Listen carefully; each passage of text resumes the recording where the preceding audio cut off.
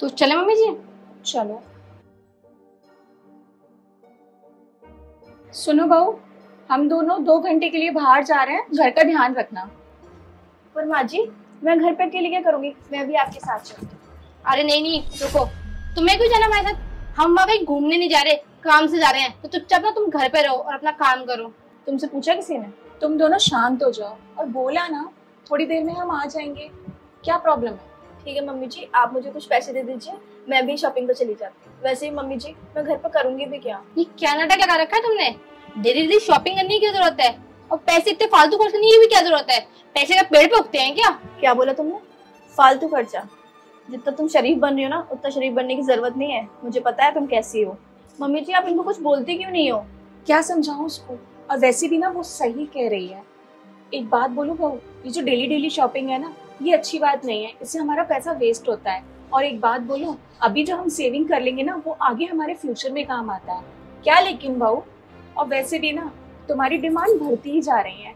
आने दो देव को, मैं उससे बात करती हूँ शाम को। अब तुम घर पे बैठो, ठीक है? चलो बहू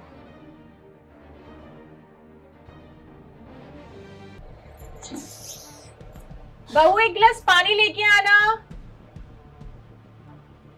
ये लीजिए माँ जी क्यों? मोहिनी कहाँ है? वो नहीं दिख रही। पता नहीं मम्मी जी कहाँ गई है? वो तो सुबह की निकली हुई है और अभी तक आई नहीं है। तो फ़ोन करके पूछना कहाँ है वो? अरे माँ जी मैंने फ़ोन किया था उसको पर उसने फ़ोन रिसीव ही नहीं किया। सुबह से ना उसका फ़ोन बंद ही आ रहा है। अच्छा कहाँ गई होगी? मुझे उसकी चिंता हो रही है। अरे हाँ मम्मी जी मुझे ना अभी याद आया मैंने उसको सुबह फ़ोन पे बात करते सुना था कि वो ना अपने किसी दोस्त के बर्थडे पार्टी में जाने वाली थी। तो हो सकता है शायद वहीं गई होगी। पार्टी? पार्टी? इसमें दिमाग है या नहीं है? इतनी रात हो गई है और ये पार्टी करने गई है।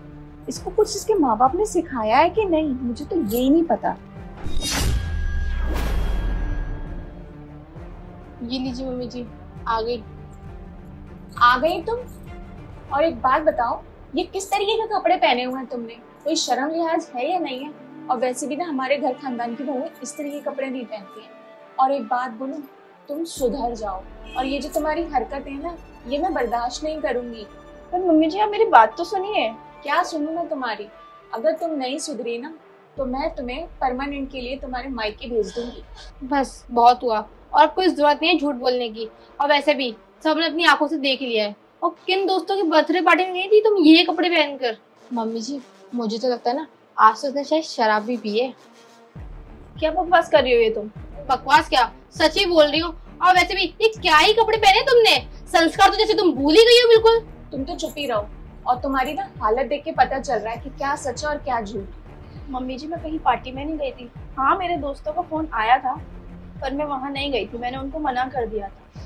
मैं बर्थडे विश करके लौट ही रही थी। मेरे घर से कॉल आ गया था कि मम्मी की तबीयत खराब है और वो हॉस्पिटल में एडमिट थी। तो मैं वहाँ उनको देखने चली गई थी। अगर आपको विश्वास ना हो तो आप मेरे घर फ़ोन करके पूछ सकते हैं। अरे बस भी करो। कितना झूठ बोलोगी तुम? मम्मी जी मैं झूठ नहीं बोल रही हूँ। अगर आपको ऐसा लग रहा है कि मैं झूठ बोल रही हूँ आप मेरे घर फ़ोन करके पूछ सकते हो। चुप करो तुम दोनों। और सुनो आज के बाद ऐसा काम नहीं करना दोबारा से। ये लास्ट वार्निंग है मेरी। अब अपने कमरे में जाओ।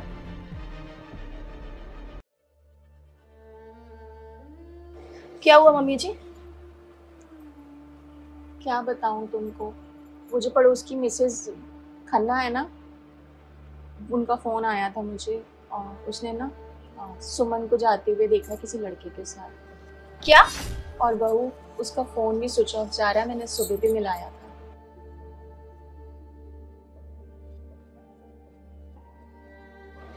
मम्मी जी गहने भी नहीं है और उसके कपड़े भी नहीं है। तो क्या इसका मतलब बहू वो भाग गई।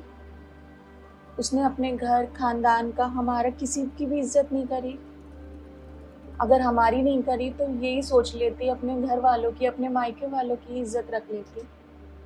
हमारे साथ साथ अपने माँ बाप की इज़्ज़त भी। मम्मी जी, आप परेशान मत होइए। परेशान क्यों ना हूँ बहू? ये बताओ तुम, क्या कमी क्या छोड़ी थी मैंने उसके लिए? मैंने तुम्हार को हमेशा गलत कर ठहराया। जैसा उसने बोला वैसे किया।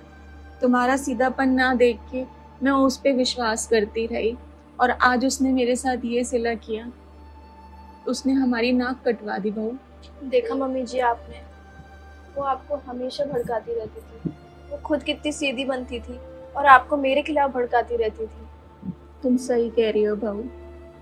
उसने मेरा विश्वास तोड़ा। मैंने हमेशा उस पर विश्वास किया। मेरा नहीं तो अपने माँ बाप का ही ख्याल कर लेती और वो आज मेरे आँखों में धूल झोंक के चली गई। तो मुझे माफ़ कर देना बेटा, जो भी मैंने तेरे साथ किया। कोई बात नहीं मम्मी जी।